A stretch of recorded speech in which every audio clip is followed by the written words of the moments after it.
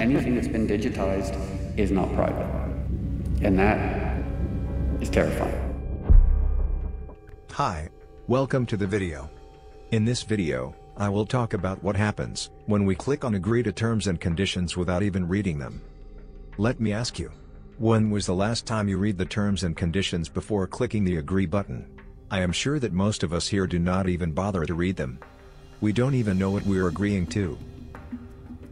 No one has read the terms and conditions. No one in the world. No one, even the lawyers who wrote it, wrote it like this. So, do these terms and conditions that we sign up for even apply? Are privacy policies really about protecting our privacy? Or taking it away? In 2009, GameStation, a company in the UK, put some pretty sneaky stuff on their website. For one day, their terms stated, by placing an order via this website, you agree to grant us a non-transferable option to claim, now, and forevermore, your immortal soul. This was obviously a joke and it was live only for a day, but this makes me question, what if there were more serious consequences, that might result from not reading the terms and conditions? Let, let me, let me give you some very practical tips. uh, first of all, uh, I want everybody here to be careful about what you post on Facebook. yes. The former president of United States of America has said that. If we look at social media, what does Facebook has as an asset? It's more than 2 billion people, and a ton of data on those people. And let's not forget, that Facebook also owns Instagram, and WhatsApp. How would you feel, if Google was effectively $500 a year service, because that's the value of the data, that you are providing? Both Google and Facebook are free services. And some people are willing to give up information about them, in exchange for having access to something that's free. We always want something free, and plenty of people are willing to provide information to get that, and plenty of companies have picked up in this fact. If you did a search and a Gmail and a YouTube and so forth yesterday, and you did it from your home, I'll give you the worst case. You did it from your home, and you only have one computer in your home. In theory, we could cross-correlate those and, and, get all, all three together. Uh, we don't do that, and we're not likely to do that. And in January 2012, Google made changes to their privacy policy, and they did exactly the same. Google combined all of the information any of their service has collected about a person, and put them into one single profile. There are companies that claim to have a large amount of data on the average American citizen, everything from whether you are right-handed or left-handed, what kind of dog you have, and a lot more. In Minneapolis, a father came into Target. He was outraged that they were sending pregnancy coupons to his teenage daughter. The man thought that Target was trying to encourage his daughter to get pregnant. And it turned out, thanks to her shopping habits, Target knew that his high school daughter was pregnant, before her own father did. The father, later apologized. So, you may wonder, is there something more serious that we are agreeing to? Total Information Awareness. A program initiated by the US government in 2002. Its mission was to collect every digital transmission imaginable. And yes, this was their real symbol. The eye of the pyramid, scanning the earth with the laser beam. It actually looks similar to what is inside Mark Zuckerberg's hoodie. Making the world more open and connected. Oh my god, it's like a secret cool. cult. The public was outraged and the program was shut down. According to Department of Homeland Security reports, Facebook has replaced almost every other CIA information gathering program since it was launched in 2004. I authorized the National Security Agency to intercept the international communications of people with known links, links to Al Qaeda and related terrorist organizations. It's taken less than 24 hours after the Bush presidency ended for a former analyst at the National Security Agency to come forward to reveal new allegations about how this nation was spied on by its own government. The National Security Agency had access to all Americans' communications, faxes, phone calls, um, and, and their, uh, their computer communications.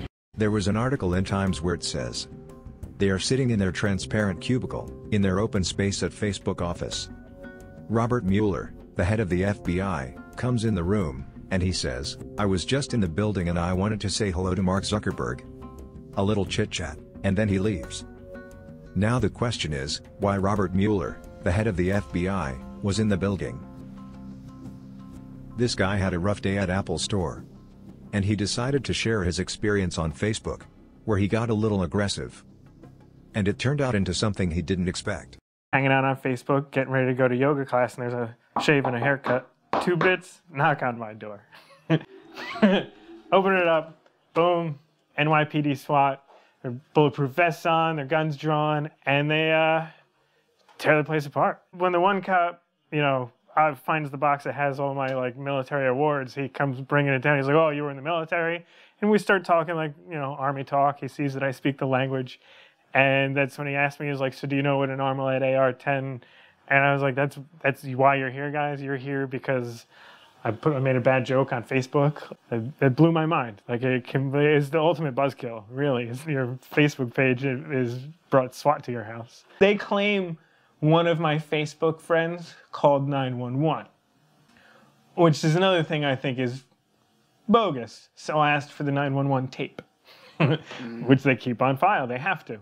So they come back and say, oh, uh, turns out it wasn't someone that called 911. It was someone that just walked into the police station, and that's something we don't keep a record of. And how'd you get my address? I lived there for like 10 days. you know, like I didn't update my mailing address yet. Like all my banking stuff was still going to my old apartment. Like there was nothing saying I lived there except for a verbal agreement. Yes, this guy was visited by the FBI because of the red flag that came up in their spy system. And one of the argument I hear a lot is, who cares if they are collecting all of this information about me? I don't have anything to hide. Actually, we are probably hiding something from someone, we all do.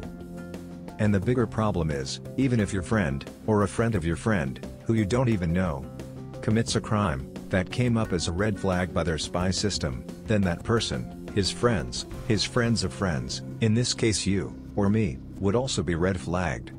And that, is terrifying. They just did a knock up on his door, so it seems very likely that we might get a, uh, a Mark Zuckerberg sighting today. These guys reached out to Mark Zuckerberg to ask him the same question that we all want to know. And that's how he reacted.